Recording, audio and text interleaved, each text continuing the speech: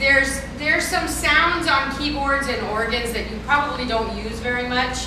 They're called synth pad and lead. They're in the section here. Uh, actually, push others and go to lead and synth pad. And those are the they're the kind of the spacey, new age sounds that you hear a lot in music, but I'll bet as organists and musicians that you don't use them very much. So what we want to do is, and, and I'm not going to do this to the extent that we did on Wednesday, but I want to talk to you a little bit about finding sounds. Now you're playing on a keyboard, right? An organ. So you all have sounds that maybe you haven't explored. Can you say that you've tried all of your sounds? I I can honestly say I don't think I have. On and I just got a new 90 SL at home, um, and I I know I haven't experimented with all of them. So Wednesday I synth sound synthesizer. It's a sound that does not imitate an instrument. Okay? They're synth- synthetic or artificial sounds that somebody made up. The first synthesizer was on an organ anyway was a Wurlitzer. Moog also made them. Remember the Moog synthesizer? Mm-hmm. Well, in the Pro division, that was the first synthesizer. In the organs, the Wurlitzer made one called the Orbit. And it was a little tiny keyboard, third keyboard up on the right side up here, had little short keys, and when you pushed the key, it went like a, a cat that had their tail stepped on. All right. So when you push these and you listen,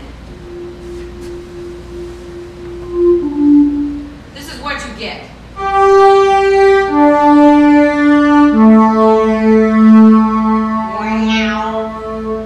So there's sounds, there's no instrument that you blow into or play or anything that sounds like that. So that's why they call them lead and pad and synthesizers. Okay? So the synthesizer is a kind of a this kind of sound. Let's let's put it on now. Kind of like uh, this one was used in. Uh,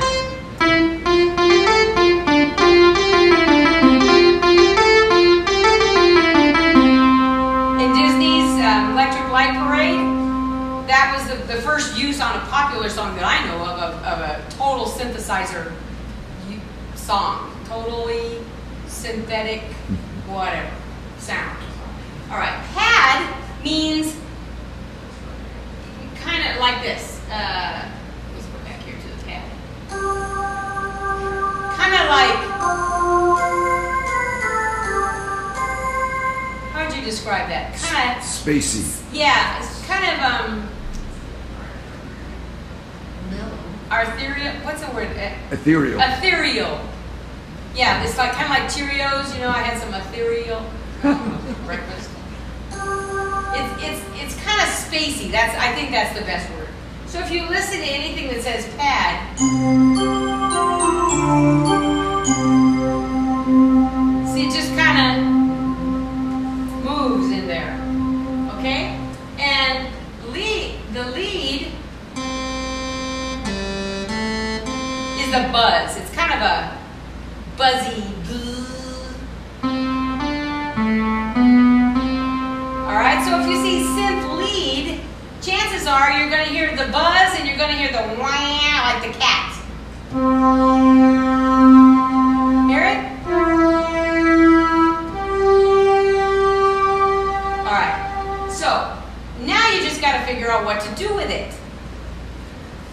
so that's kind of where we want to take you today. I want you to think about playing with instruments you haven't touched yet. And for, and I think to start, there's there's two rules. All right.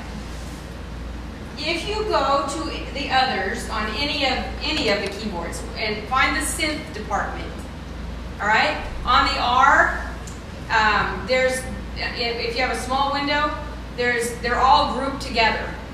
All right. On the S, they're all in the synth department.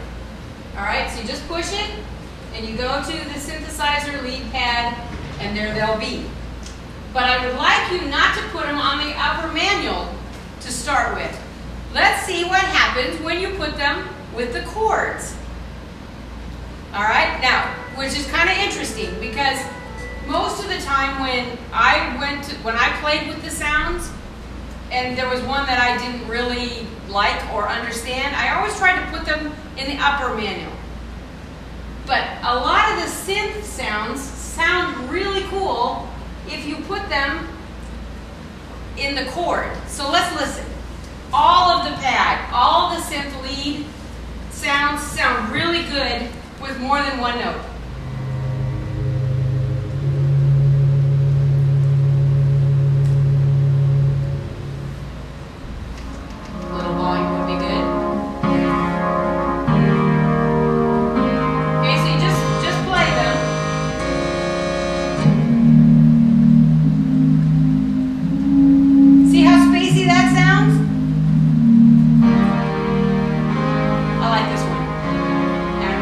behind this.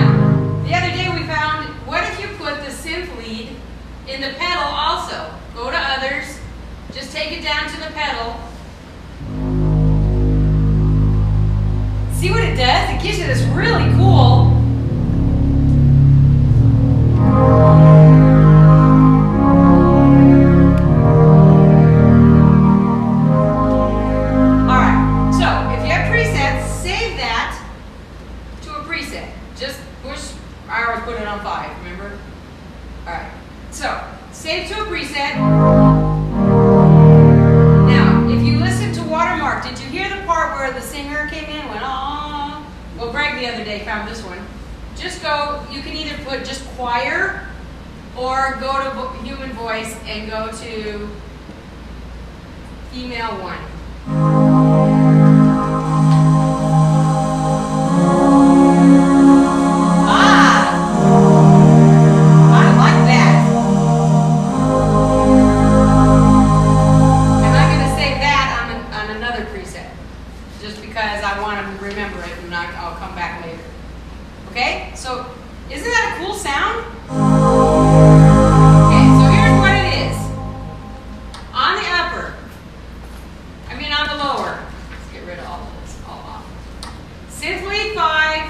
and female one.